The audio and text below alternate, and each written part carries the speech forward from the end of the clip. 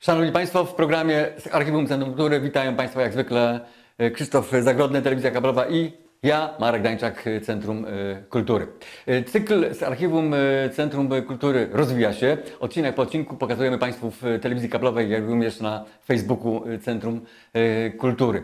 Sporo informacji zwrotnych mamy z Krzysztofem od Państwa, że Państwo oglądacie, niektórzy w całości, niektórzy przeglądają, niektórzy w części. Jedno jest pewne, że zainteresowanie jest spore tą sentymentalną podróżą po materiałach, imprezach i działaniach Centrum Kultury, tych najstarszych sprzed lat, a balansujemy w tym obszarze ostatnich trzech dekad, ostatnich 30 lat, bo to archiwum dotyczy tych lat naszej pracy. Sięgamy po te najstarsze materiały, czyścimy je technicznie i próbujemy Państwu pokazać. Jedno z nich wynika i takie uwagi mamy od Państwa i to mnie bardzo cieszy, że jest to rodzaj, ten program jest rodzajem opowieści o nas, o Kamiennogórzanach, o amatorskim ruchu artystycznym, jak bogaty był zawsze, jest i, i mam nadzieję, że będzie. Dla nas, pracowników Domu Kultury, misja związana z opieką nad amatorskim ruchem artystycznym, nad kamiennogórzanami, którzy chcą od życia czegoś więcej, jest najważniejsza. Czasy się zmieniają, moda się zmienia, a osoby, które chcą pisać, malować, tańczyć, wyżywać się teatralnie, śpiewać, nie brakuje i to w tych programach chcemy pokazać, że w ciągu tych 30 lat tych artystów, tych ludzi zdolnych w tym mieście nie brakowało i tych inicjatyw i imprez była cała masa. Dzisiaj Dzisiaj naprawdę coś zupełnie, zupełnie niezwykłego.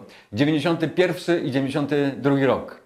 Czy macie Państwo ochotę cofnąć się z nami razem prawie 30 lat? Bardzo proszę. Był taki moment na początku lat 90., kiedy współpracowaliśmy z tymi, którzy prowadzili kino, kino Szarotka. Młodsi nie pamiętają, starsi wiedzą o tym, jak ważny był ten przybytek kultury przez lata dla Kamiennogórzan. Postanowiliśmy razem z panią Anią, z panem Staszkiem Zielińskim, słynnym kinooperatorem, rewitalizować czy spowodować większe zainteresowanie tym obiektem, czyli kinem. Ale nie jeżeli chodzi o projekcję filmu, bo wtedy był moment, kiedy pojawiły się urządzenia pod tytułem wideo. Ludzie zaczęli oglądać filmy w domach, frekwencja w kinie też spadła. No ale żal nam się zrobiło tego wspaniałego pomieszczenia. Ponad 300 miejsc, foteli, wygodne miejsce. Niewielka, ale zawsze scena pod ekranem. I pomyśleliśmy sobie, że zaprosimy mieszkańców na imprezę gdzie będą prezentować się na tej scenie artyści, którzy nie będą wyświetlać filmów, nie będziemy oglądać filmów, ale będą prezentować się z różnych dziedzin sztuki. Kabareciarzy, teat tych ludzi teatru, tych, którzy grają, śpiewają. I powstał taki cykl imprez. W 91 i 92 roku było ich cztery. Każda z nich, każdą z nich nazwaliśmy Mały Show w kinie Szarotka. Za każdym razem nie zdradzaliśmy tajemnic, co będzie w scenariuszu, jacy artyści się pojawią i co się będzie działo. Zainteresowanie było ogromne. Na każdą imprezę zawsze brakowało miejsc, mimo że ponad 350 miejsc było w kinie.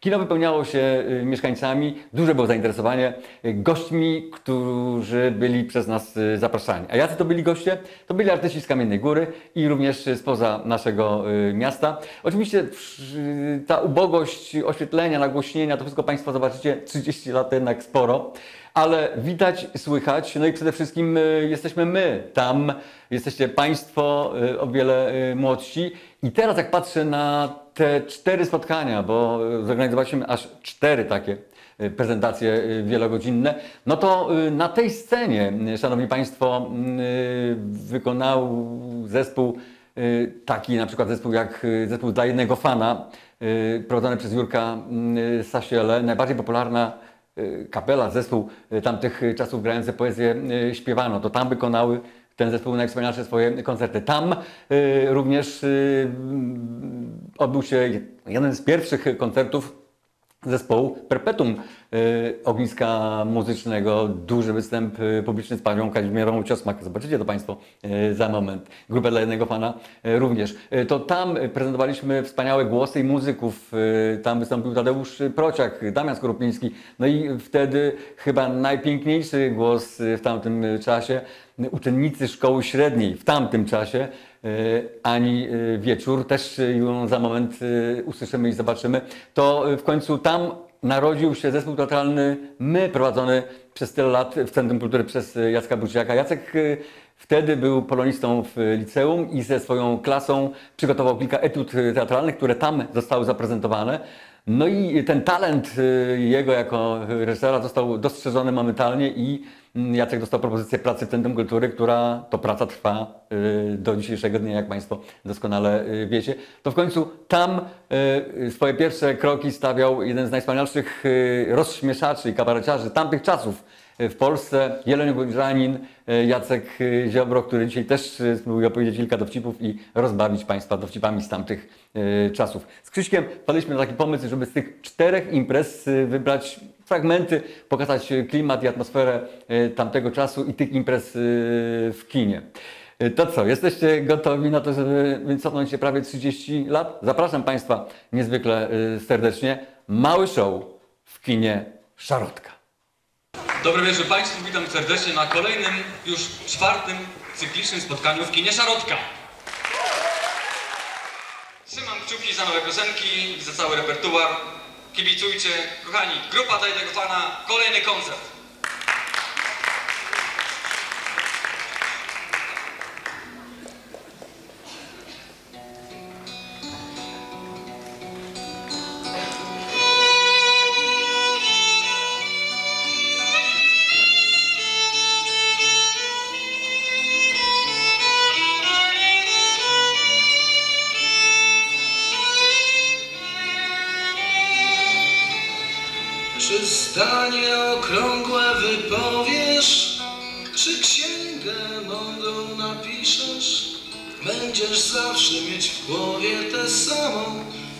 的牺牲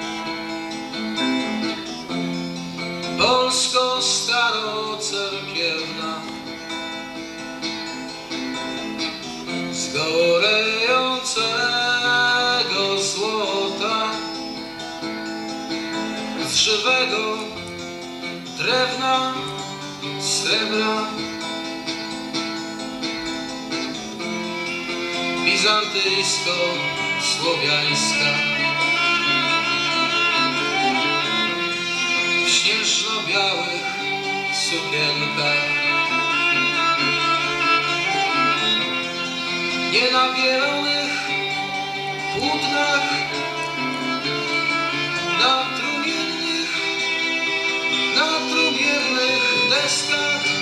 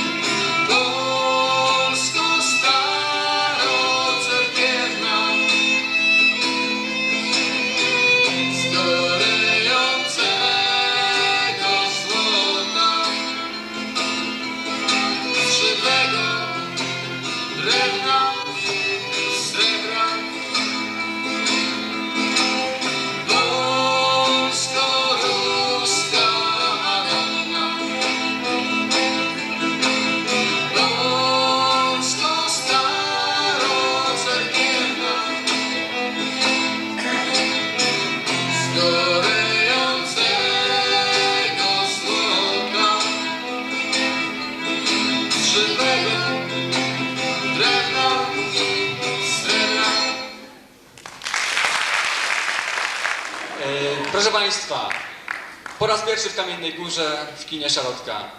Anna Wieczór.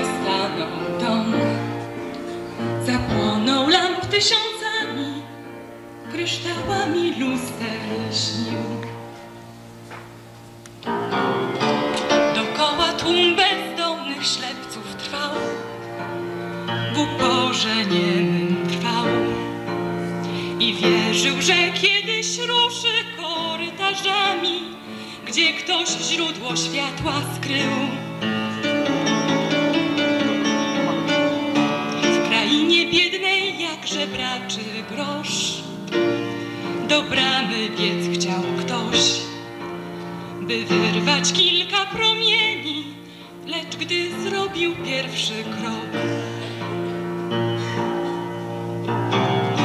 zniknęła nagle barwna świateł gra, strawiła jasność rdza i czarny kurz opadł na zamarły tłum cieni, gdzie ktoś źródło światła skrył.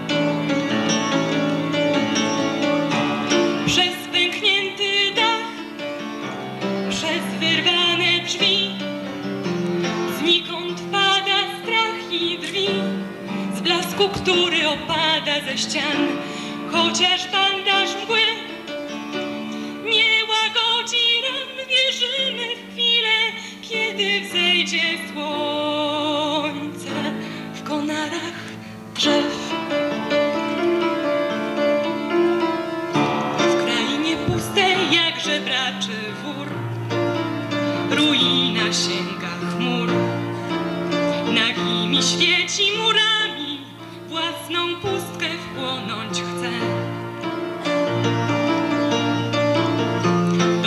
tłum bezdomnych ślepców trwa, złudzenia ciągle ma i niemoc swą okłamuje wciąż marzeniami, w których zorza rodzi się.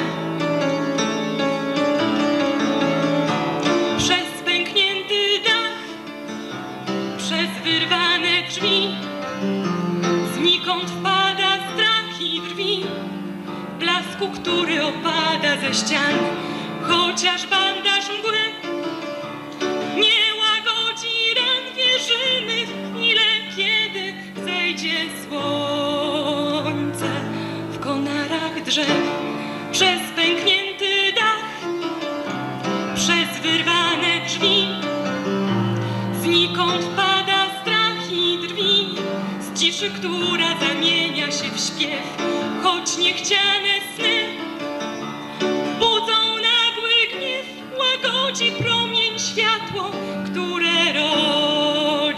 yeah.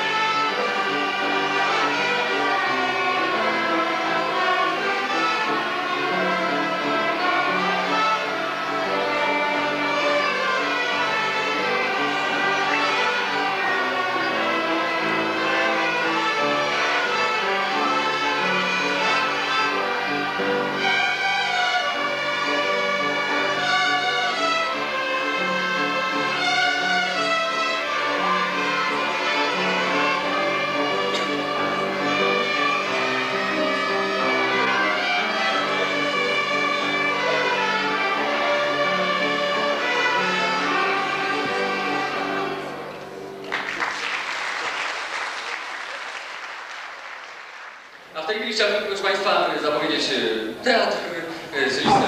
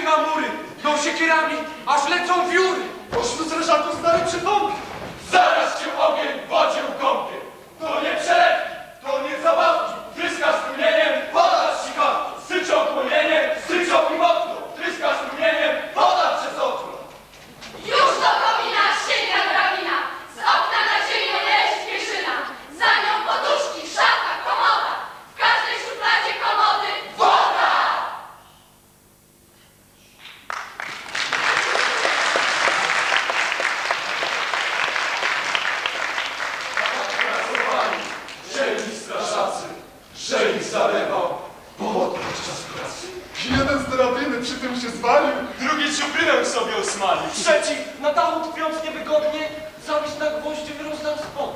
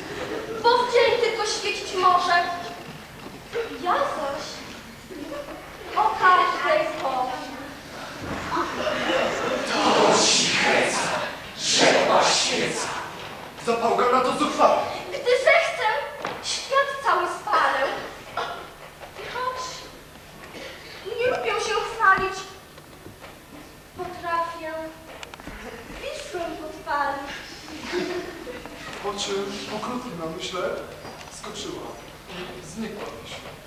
Tak się skończyły przechwałki. Zarozumiałe. To świeca, rzekła świeca.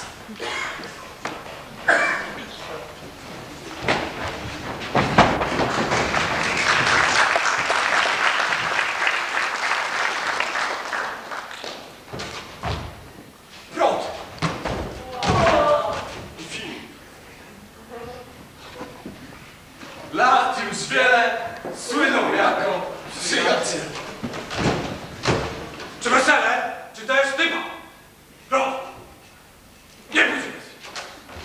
Nie opuści Filip Proto, choćby dostał worek złota. Gdy się zdarzy jakaś bieda. Prąd Filipa szczycicie. Nie ma. Kiedy Prota zmoże grypa, przy procie masz Filip.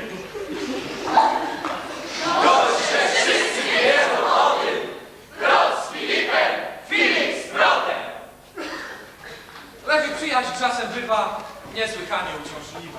Filip chował rybki złote. A tu prot umyślił sobie. Wziął i wszystkie zjadł w potrawce. Filip zły! Chce znaleźć sprawcę! Caluteńki dom A przetrząsa! no prot śmieje się spod wąsa.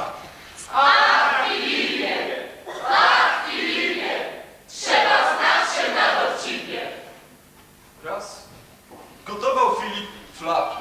A prot wpadł na pomysł taki, że podrzucił mu do garnka stary kałuż. Filip Sarka!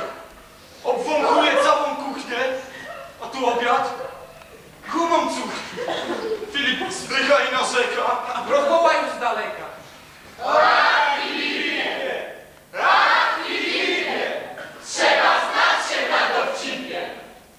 Filip dostał raz po dziadku pozłacany fotel w spadku. Mówił wtedy wszystkim dumnie, to najlepszy mebel. Prota nudził spokój błogi. Więc fotelu podciągnął. Potem rzec. Przyjacielu, usiądź sobie w tym fotelu. Filipusz, a tu właśnie fotel pod nim, jak trzaśnie. Cztery nogi w cztery strony. Staje Filip potłuczony. Któż to zrobił mi u licha? A tu prot ze śmiechu prycha.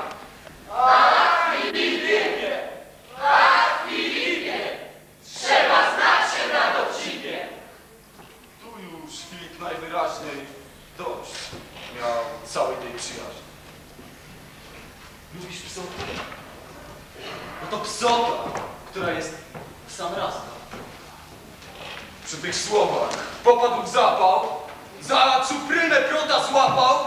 Wydaj mościu bez litości, porażona wszystkich kości.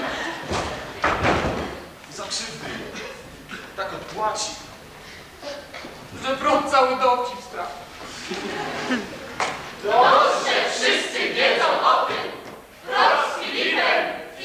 Spotkał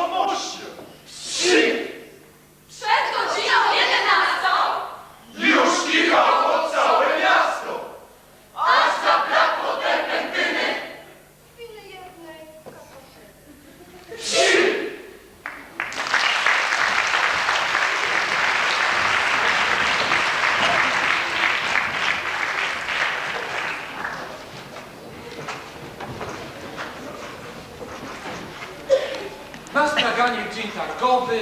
Takie słyszy się rozmowy.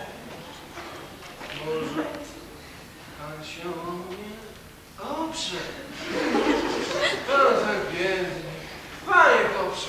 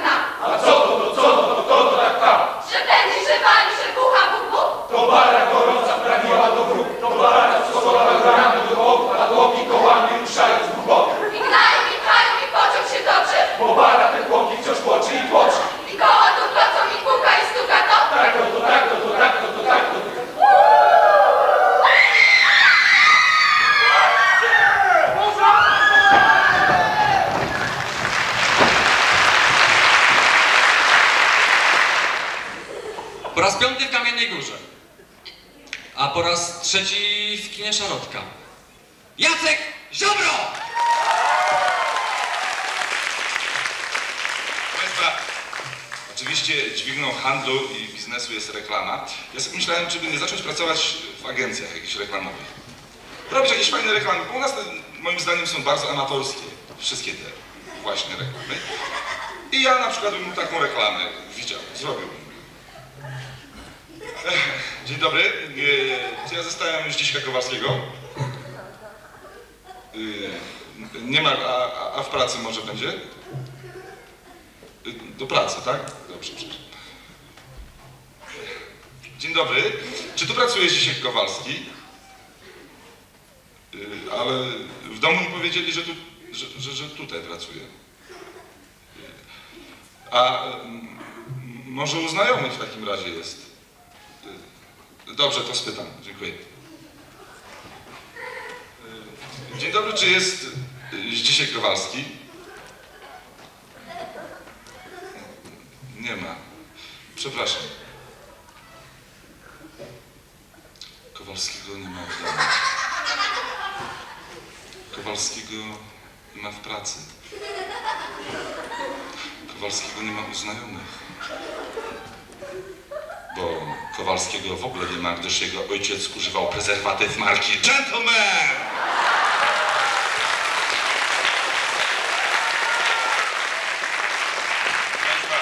I zostaje. I to już nie jest śmieszne i zostaje.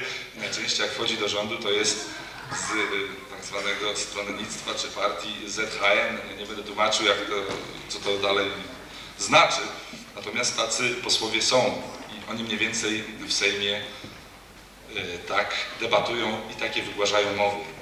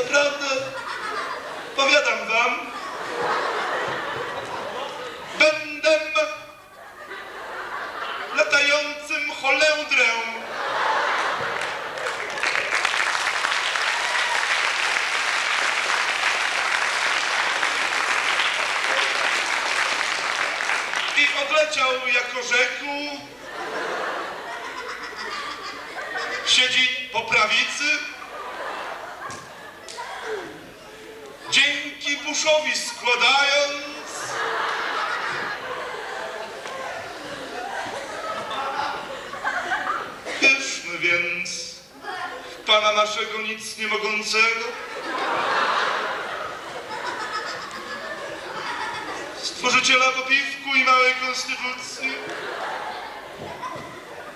który nami, z nami żyje i prezentuje w jedności chaosu gospodarczego. I jaką rzekł, precz z opozycją, bo każda opozycja to siedlisko szatana.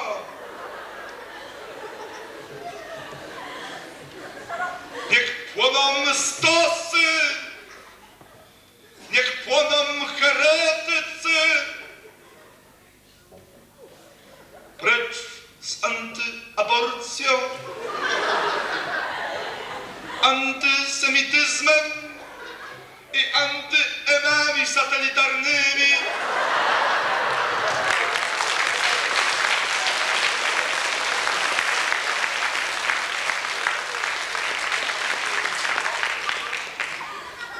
Dajecie sobie spokój. To znaczy dajecie sobie znak pokoju. I zawsze niech taca będzie z wami, a za resztę lud zapłać. Ladies and gentlemen, I'd like to introduce you, my friends, Louis Armstrong and Ella Fitzgerald!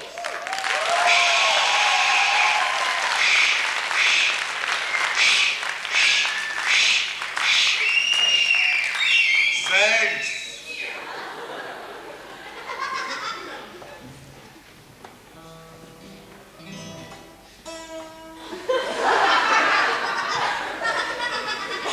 Jest to bardzo nowatorskie wprowadzenie.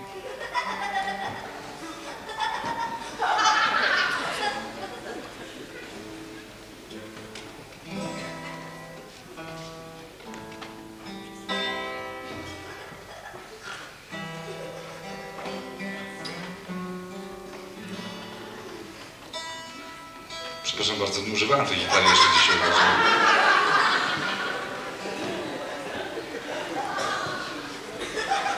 Już idę, gorąco.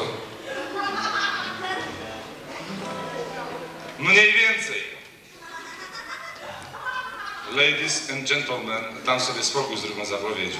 Dobrze?